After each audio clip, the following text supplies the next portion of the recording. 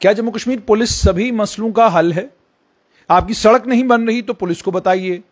आपका, आपके यहाँ कोई डेवलपमेंट का काम चल रहा है, वो मुकम्मल नहीं हो रहा तो पुलिस को बताइए। आपके यहाँ स्कूल की बिल्डिंग बनने वाली है, स्कूल की बिल्डिंग मुकम्मल नहीं हो रही तो इंजीनियरों के खिलाफ पुलिस के पास शिकायत दर्ज कीजिए। क्या जम्मू कश्मीर पुलिस सभी मामलों का हल है? क्या आतंकवाद की लड़ाई, जहाँ जम्मू कश्मीर पुलिस लड़ रही है, क्राइम से जम्मू कश्मीर पुलिस लड़ रही है उसके अलावा ट्रैफ़िक के निज़ाम को देखने का काम भी Jammu Kashmir police, traffic police की शक्ल में कर रही है। तो ये सारे काम जहाँ जम्मू कश्मीर पुलिस कर रही है, क्या वहाँ पर अब जो डेवलपमेंट के काम अलग अलग इलाकों में होने हैं, जो तरक्की के काम अलग अलग इलाकों में होने क्या तरक्याती कामों में भी अब जम्मू कश्मीर पुलिस का सहारा लिया जाएगा? ये सवाल कल से सभी लोग पूछ रहे हैं। ये सवाल कल से सभी लोग इसलिए पूछ रहे हैं क्योंकि रामबन में एक वाक्य हुआ, जो वाक्य इंडियन एक्सप्रेस अखबार में आया, उसके बाद इंडिया टुडे पर भी आया। इंडियन एक्सप्रेस अखबार में खबर आई।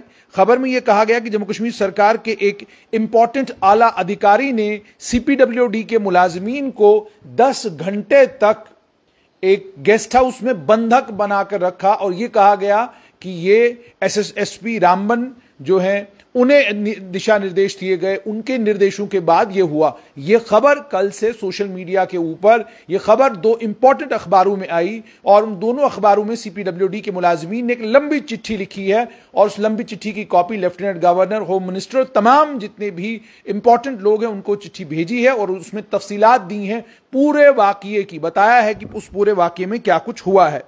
अब यहाँ पर सबसे इंपॉर्टेंट पहला सबसे इंपॉर्टेंट सवाल यह है कि पहली बात तो यह कि क्या आप जम्मू कश्मीर पुलिस शेड बनवाने का काम करेगी? क्या जम्मू कश्मीर पुलिस अब अलग अलग इलाकों में जहाँ सड़कें नहीं बन रही, वहाँ पर इंटरवीन करेगी? क्या जम्मू कश्मीर पुलिस को अब यह काम भी सौंपा जाएगा कि डोडा के इंटीरियर एरिया में सड़कें नहीं बन रही हैं? आप जाकर देखिए, ठेकेदार ठीक तरीके से काम क्यों नहीं कर रहे हैं? क्या राजौरी पुंछ के इलाके में इसी मिसाल को रेप्लीकेट किया जाएगा? क्या कश्मीर, वादी कश्मीर में अलग अलग इलाकों में जहाँ तरक्की के काम चल रहे हैं, तरक्याती काम चल रहे हैं, क्या वहाँ पर जम्मू कश्मीर पुलिस को मुदाखलत करने के लिए कहा जाएगा? क्या ठेकेदारों को गिरफ़्तार किया जाएगा? क्या कोई कार्रवाई उन ठेकेदारों के खिलाफ होगी जिन ठेकेदारों ने, आप जम्मू में कई जगहों पर देखेंगे, जम्मू में लगभग हर चौक, जिस भी चौक से आप गुजरते हैं, जिस भी सड़क से आप गुजरते हैं बम्पी राइड का एहसास आपको होता है। खड्डे आज भी सड़कों के अंदर बहुत सारी जगहों पर आपको मिलेंगे। बहुत सारी जगहों पर आप केनाल रोड के सामने आप देखिए, वो सड़क मुझे लगता है छठी बार बन रही है। फिर वहाँ ड्रम लग गए हैं। दोबारा से वहाँ उसको, सड़क को तोड़ने का और दोबारा से बनाने का काम शुरू हुआ है। तो क्या नवाबाद थाने में एक एफआईआर लगेगी? क्या नवाबाद थाने में एक एफआईआर लगेगी? जिस एफआईआर में यह कहा जाएगा कि जनाब, इन ठेकेदारों से ये पूछिए कि आपने ये जो सड़क बनाई थी, ये एक साल के अंदर अंदर आपने कितनी बार इसको तोड़ा और कितनी बार आपने इसको रिपेयर किया? और ये अगर सरकारी पैसे पर हो रहा है तो सरकारी पैसे का इस तरीके से इस तरीके से नाश जो किया जा रहा है, वो कौन कर रहा है?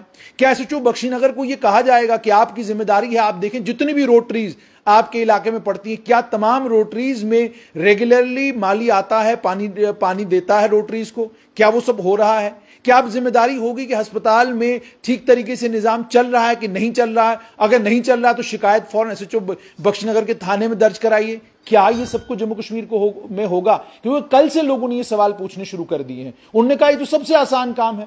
आप तो जानते हैं कि अगर किसी भी जगह पुलिस इंटरवीन करती है पुलिस की इंटरवेंशन का मतलब है कि या तो वो काम जल्दी होगा या अगर वो काम हो नहीं रहा होगा तो फ़ौरन हो जाएगा। ज़ाहिर सी बात है मामला बनने से एफआईआर लगने से हर एक आदमी डरता है। हर आदमी डरता है जेल जाने से हर आदमी डरता है कि उसके खिलाफ सख्त कानूनी कार्रवाई नहीं होनी चाहिए। डर खौफ पुलिस को किसका नहीं? हर एक को है। जहाँ पुलिस पर लोग विश्वास भी करते हैं वहाँ खौफ होना भी ज़रूरी है। अगर खौफ ना हो तो, तो क्राइम तो दिन दहाड़े हो जाएगा।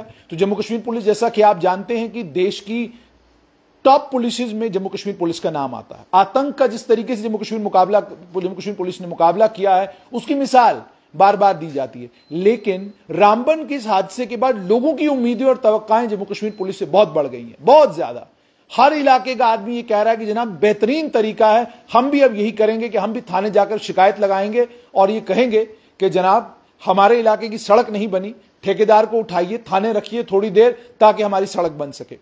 और ये भी लोग कह रहे हैं, कई इलाकों में जहाँ पर बिजली पानी की दिक्कत है, कि जनाब, शिकायत थाने में होगी, पंद्रह मिनट के अंदर अंदर सारा मसला हल हो जाएगा। लोगों को यह महसूस होने लगा है। आपने कई बार एक और तमाशा देखा होगा, पासपोर्ट ऑफ़िस में आपने देखा होगा, हालाँकि पासपोर्ट ऑफ़िस का काम जो है वो ये है कि आपका पासपोर्ट वहाँ पर बनना चाहिए। लेकिन पासपोर्ट दफ्तर के चक्कर लगाते हुए आपने बड़े सारे पुलिसकर्मियों को देखा होगा। क्यों?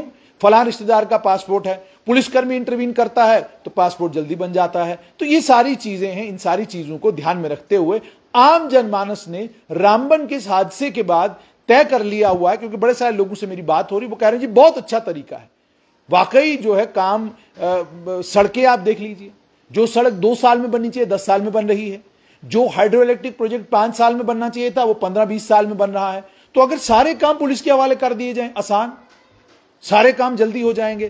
तो अब देखना यह है कि आने वाले दिनों में जम्मू कश्मीर पुलिस की जिम्मेदारियाँ सरकार कितनी बढ़ाती है। और यह भी देखना है कि जो आम लोगों के नुमाइंदे हैं, क्या वो आम लोगों के नुमाइंदे अब जम्मू कश्मीर पुलिस के दरवाजे पर दस्तक देंगे? और दस्तक देकर ये कहेंगे कि जनाब, हमारे यहाँ म्यूनसिपल कॉरपोरेशन के लोग ठीक तरीके से काम नहीं कर रहे। जरा थोड़ा सा अगर आप इंटरवीन करें तो बात बन जाए। मुझे यहीं पर एक हादसा याद आ गया कि जम्मू म्यूनसिपल कॉरपोरेशन में दो पत्रकार चले गए।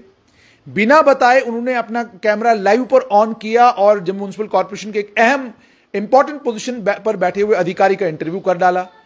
इंटरव्यू के बीच में एक सवाल टेढ़ा सा पूछ लिया। उस टेढ़े से सवाल के पूछने के नतीजे में अधिकारी ने मोबाइल कैमरा बंद करवाया। मोबाइल कैमरा बंद करवाने के बाद दो पुलिस के अधिकारियों को, एक थानेदार को, एक एसडीपीओ को भेजा गया जम्मू म्यूनिसिपल कॉरपोरेशन में और बंद रखा गया पत्रकारों को लगभग एक घंटा के लिए जब तक उन्होंने वो वीडियो डिलीट नहीं की और ये वादा नहीं किया कि हम इस वीडियो को दोबारा नहीं चलाएँगे। ये भी हुआ। जम्मू कश्मीर पुलिस ने के दो अधिकारियों ने ये काम भी किया। तो ये सारे काम जो जम्मू कश्मीर पुलिस से लिए जा रहे हैं, जो काम जम्मू कश्मीर पुलिस के का नहीं है, लेकिन अगर उनके कार्य क्षेत्र में आता है तो ज़ाहिर सी बात है काम जल्दी होगा, काम तेज़ी के साथ होगा, और लोगों को भी दिक्कत और परेशानी का सामना कम करना पड़ेगा।